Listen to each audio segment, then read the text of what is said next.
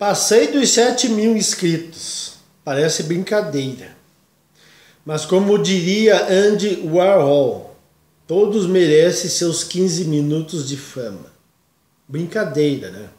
Eu jamais criaria um canal no YouTube com o intuito de me tornar famoso.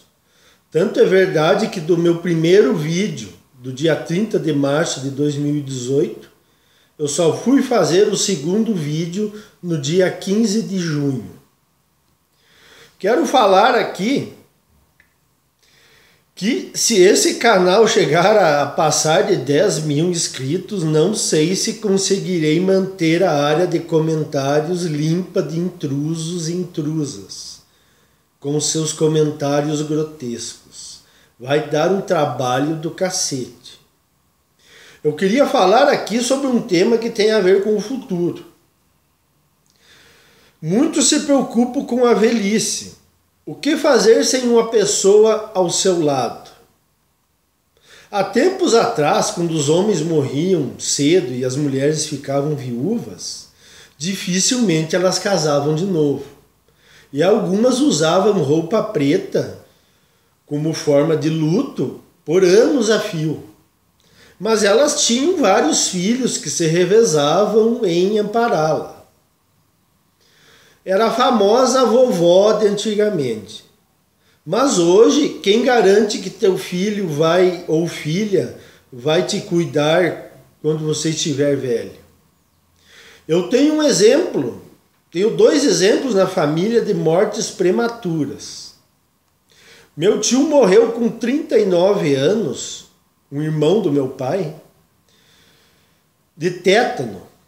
E a mulher dele tinha 37 anos. Nunca mais ela casou. Ela ficou morando com o filho pequeno. Minha avó, mãe do meu pai, viuvou com 55 anos e nunca mais casou. Hoje em dia o cara morre, nem esfriou e a esposa já está de olho em outro.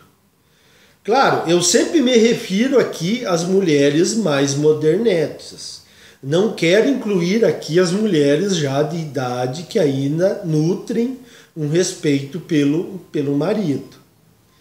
Então, qual seria a solução para essa solidão da velhice? Insistir no casamento? Casar para ficar na corda bamba da Lei Maria da Penha sem poder dizer um ai dentro de casa? Casar para daqui a alguns anos ter que pagar pensão alimentícia e ainda ficar longe dos filhos? E mesmo que a guarda compartilhada seja imposta, não é a mesma coisa. Não é o mesmo que você ter os seus filhos junto, junto de ti todos os dias. Isso é péssimo, tanto para o pai como para os filhos. Casar para ser traído? Se o homem trai, a mulher sai como vítima. E na mesma hora tem uma fila de 100 quilômetros de homens atrás dela. Se a mulher trai, todo mundo tira sarro do homem. Mas lembre-se de um vídeo que eu falei. O homem corno é aquele que sabe e aceita. O sujeito que não sabe que está inocente na parada, ele não pode ser chamado de corno. Nós temos que começar a fazer essa diferenciação. Isso nos ajudará a ser menos tóxicos com nós mesmos. Outra, casar com uma mulher tóxica que vai te dizer que você não pode fazer isso e nem aquilo, que ela que manda na casa e você é apenas um objeto uh, de decoração e pagador de contas? Ir casando e descasando até o fim da vida, tentando achar uma mulher que dê certo? E não esqueçam que as leis estão lá no fórum.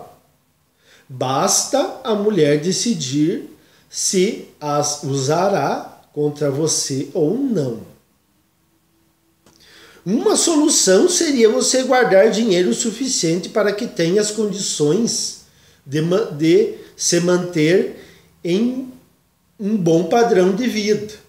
quando ficar mais velho. Outra solução que provavelmente é difícil de dar certo seria você arrumar uma mulher da tua idade. Por exemplo, você está com 70 anos e arruma uma mulher de 70 anos.